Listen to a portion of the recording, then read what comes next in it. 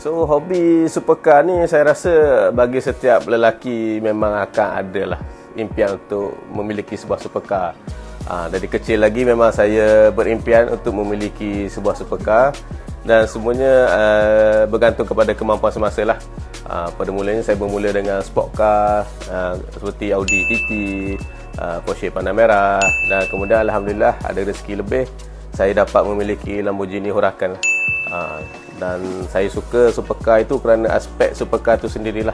Dan kebentuknya yang seksi uh, engine yang powerful V10 apa natural aspirated punya engine.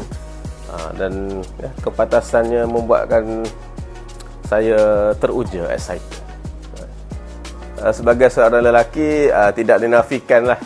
Perkara itu memang berlaku dan adalah satu bentuk ujian Ha, dan semua itu bergantung kepada diri sendiri.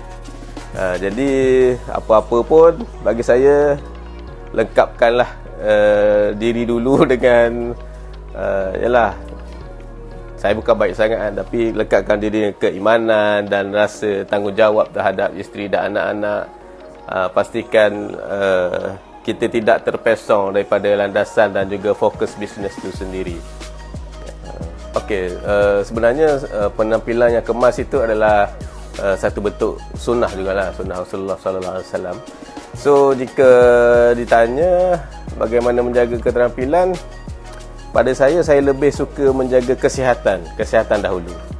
Ha, dengan kesihatan seperti uh, badan yang dalam berat ideal uh, dan juga kurangnya stres dan perkara-perkara ini akan menampakkan kita lebih tidak terlampau tua lah tidak terlampau terbeban. Uh, kita akan nampak fit slim dan juga akan nampak uh, ceria selalu. Dan ceria itu adalah satu bentuk anti penuaan yang sangat sangat sangat powerful lah bagi saya.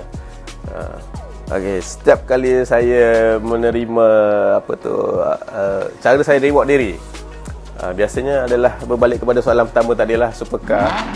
Uh, saya akan pergi membeli supercar uh, ataupun pergi travel lah travel uh, bersama isteri dan anak-anak.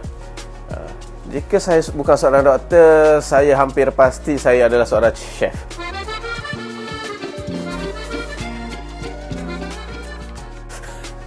Uh, kerana memang di masa lapang ataupun di setiap kali musim perayaan memang saya akan memasak lah.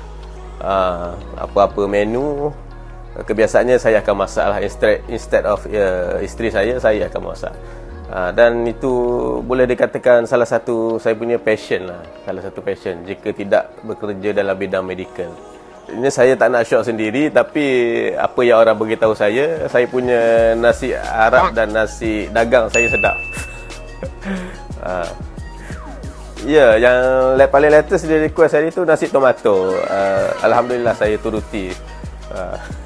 Okay.